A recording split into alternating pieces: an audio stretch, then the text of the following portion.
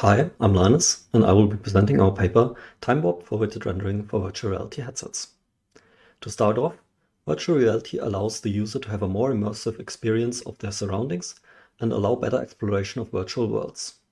Additionally, VR headsets have become consumer products instead of research-only prototypes, making them more widespread with more variants from different manufacturers available.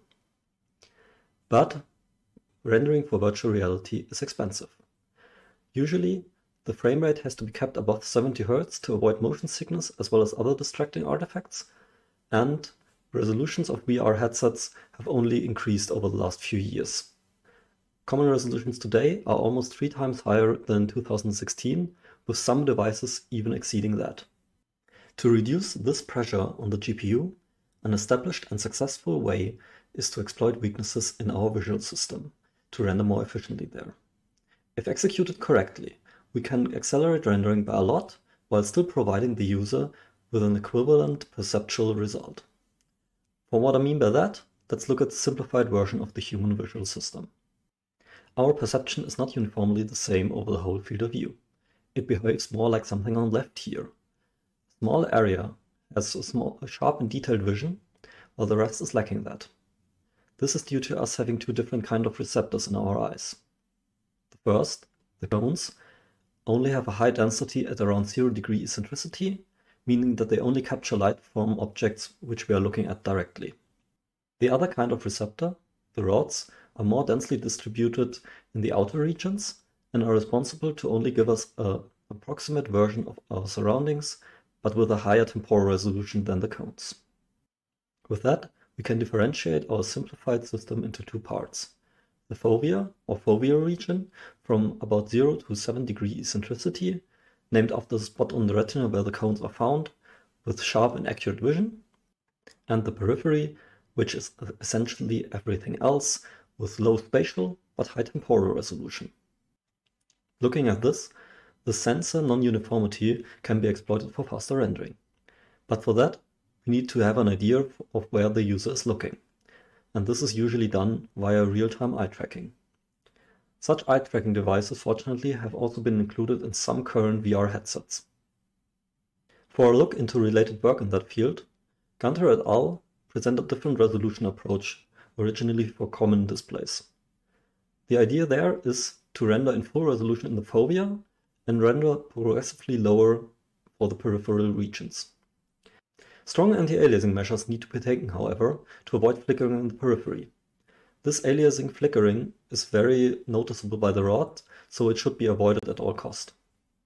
A different approach to circumvent this problem is to use a different shading rates approach.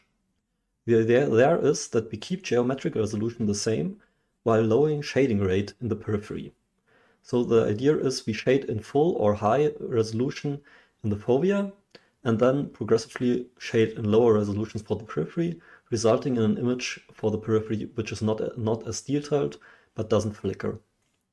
While this is a great solution, the only acceleration in this approach is in shading cost, and while that is a big part in modern pipelines, it could still be better. For inspiration for our approach, let's look at a, different domain with ray tracing. Weier et al. present a warped ray tracing approach. The idea there is that we shoot rays in the fovea in full, while only sample sparsely in the periphery. This is then reconstructed by using previous frames and shooting additional rays for problematic cases like edges. This is a great inspiration for our approach, uh, where we try in a rasterization pipeline to do a similar thing. That is, that we want to reuse as much samples as possible while redrawing only what is necessary and for that, we need to evaluate our result cleverly. As an outline for our approach, we want to reproject the last frame, then evaluate the result, and re-render areas where we have missing information. And for our algorithm to be efficient, we want to minimize that redrawing as much as possible. So, how do we do that? First, for reprojecting the last frame. Here, to illustrate, I have a lower resolution image on the left. Then we use a forward warping approach with the new view matrices. But for our forward warping approach, we don't use depth-based reprojection, but we use a world position buffer. Why, do, why we do that, I will show a small example here. Here we have a point sprite on the left, which is then rasterized on that pixel here. If we now warp that pixel, we have the point sprite again in the same pixel footprint. If we rasterize it, we land at this pixel again, but now we lose our subpixel position. Thus, if we warp again with that subpixel position, we might get that pixel rasterized here again, even though if we would have kept our subpixel position, like here on the right, you can see that the pixel should be rasterized one to the left. So, while this might seem like a bit of a constructed example, we want to keep pixels as long as possible. So if we don't take care of that, streaking artifacts like here on the left might occur. So this is why we use a full warp position buffer for our forward warping. Next, let's evaluate our warping result. Here, on the right, we see that we have a lot of information missing there, as well as a lot of information is missing in the fovea, because we haven't projected there. But if we look here on the left, we can see that this column kind of looks fine. We could reasonably expect to fill these holes with neighboring information which would then be good enough. And this is exactly what we do. For hole filling, we use a cheap push-pull mipmap filter, which essentially creates a mipmap of all the information that we have, and then reversely fills the image with these pixels. So then, if you compare the hole filled image to our reprojection, we can see that the background and the column kind of look fine while still having a lot of artifacts in the fovea on, on the right. And this is the area where we want to redraw. A bit later, we will explore how we decide whether to redraw or not, but for now, let's take this redraw map. If we render everything in this redraw map, we would get an image like this one on the right, a sparsely filled image. But while rendering this, we have an additional benefit that we can use there are large areas occluded in this read map here in black. Object in this black area we can cull if they are completely occluded. So if you imagine an object here, it would be a chair, its axis aligned bounding box is occluded completely. So we can just cull the complete object. In contrast, this object here, the table, is not completely occluded. Parts of it is visible, so we need to draw it. The same would be true for this column here, but fortunately we have subdivided our objects. Our subdivision goes down to a few hundred triangles. So in reality, there are multiple small objects encapsulated here, and its bounding boxes can look like this. So in this case, about half of the object we can cull, and then again with that we cull a lot of geometry. This allows us to accelerate our rendering greatly. After having re-rendered, we then combine the freshly rendered image with the hole filled image, and we get our end result. Almost. What we notice now is we want to anti-alias our redrawn parts and want to motion smooth our peripheral reprojection. Due to small head movements and sensor noise, there's a lot of motion between frames, and if we don't anti-alias and we don't motion smooth, there might be some swirling artifacts which are very distracting. For us, for our re-rendering, we use usual temporal anti-aliasing. That is getting a history sample via depth-based reprojection and then colorbox clamping that sample. We can do that same thing for our reprojected areas. If we look at our depth-based pixel reprojection here again, we can see that the depth-based reprojection will give us a different sample if we are very close to our pixel edges. So this means that pixels that are keen to flicker between two pixel footprints, we can motion smooth with a depth-based sample from our history buffer. So with that, our pipeline is finished. The only thing that we need to take care of is to not use that motion smoothed image for our reprojection, as if we do that, that slight blur that occurs with that will get propagated through the frames. Now, the part that I skipped over beforehand. How do we redraw? We want to formalize our redraw decision based on perceptual and reprojection characteristics, and we call that thing our confidence function. That is, how confident are we that our hole foot image is good enough for the periphery. we have three main factors for our function.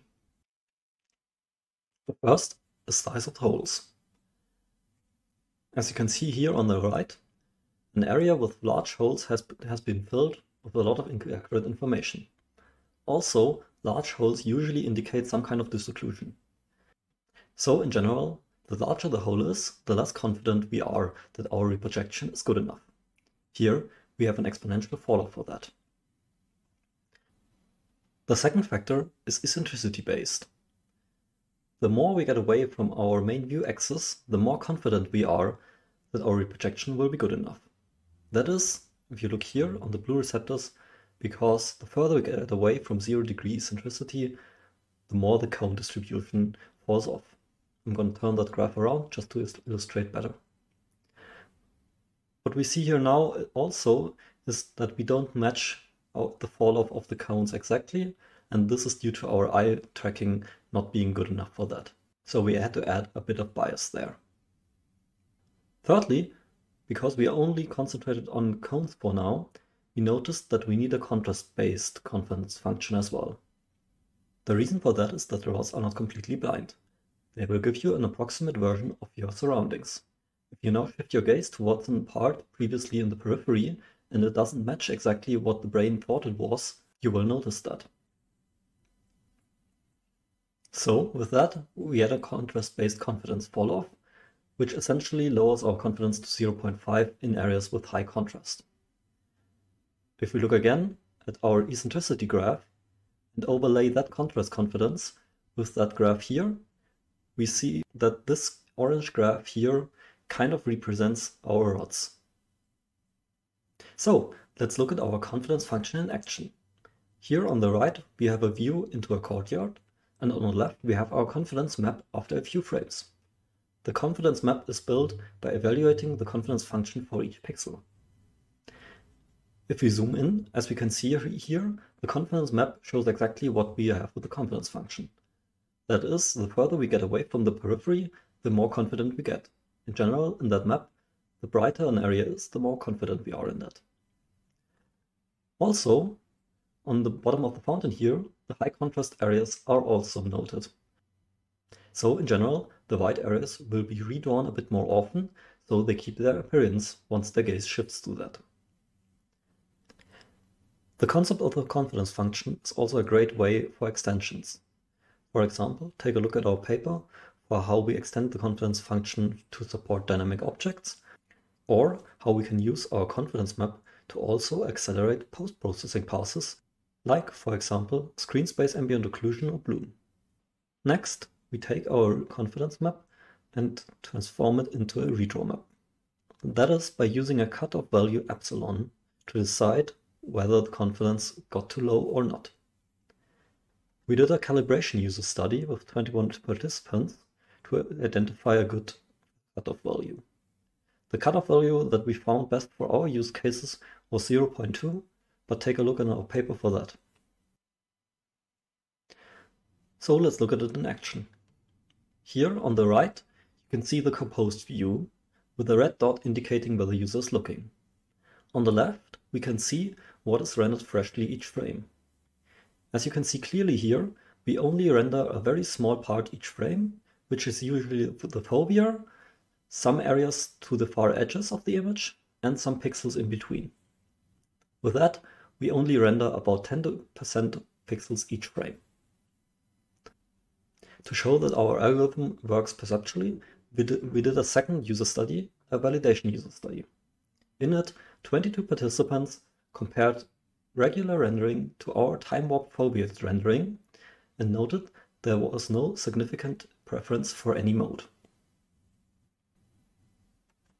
Let's look at performance. Our method compares quite favorably compared to regular rendering, as well as Patney et al.'s foveated rendering with variable rate shading. This is due to our algorithm being able to cut down geometry cost by almost 30%, so 30% less vertices are processed each frame. Additionally to that, we can cut down our shading rate by more than 90% compared to regular rendering. These factors both impact performance significantly and allow us to get a large speedup. Four limitations in future work. It is important to note that we do not support moving lights at the moment. You could imagine extending the confidence function to also include some kind of falloff for moving lights to redraw them more often, but at the moment we haven't looked at that and this is a limitation. Additionally, we are not accelerating transparent rendering. You could imagine adding a transparent pass after our pipeline finishes to add transparent objects, but they wouldn't be accelerated and we couldn't reproject them. This is due to transparency not having a distinct pixel position. Thirdly, we have difficulty with view-dependent post-processing effects, for example reflections. Some view-dependent effects like specular highlights are okay in our approach, as we take contrast into account, but for reflections, such a contrast falloff doesn't help much, and we would need to extend the confidence function further to account for some kind of reflection. Finally, to recap. We start off with our previous frame and our previous frame's world position buffer. Then we use a forward warping approach, creating an image with a lot of holes. These holes are then filled with a push-pull filter. So first we create a mip map, and then we reversely fill our image with that said mip map. Following, we compute our confidence function, and based on that confidence function, we create a redraw map. This redraw map is then used for culling, and once objects are culled, we can redraw. This redraw is now very efficient, as we culled a lot of objects and could avoid to compute a lot of shading computations. Now this redrawn image is combined with our hole filled image to create our final output, almost final output. But this output is the input for next frame. Then we use a TAA and a motion smoothing pass to prepare that image we send to the HMD, which is then done in a last step. With that, I'm at the end of my talk. If you have any questions, please write me an email or a DM on Twitter, and I'll be happy to answer any questions. Thank you.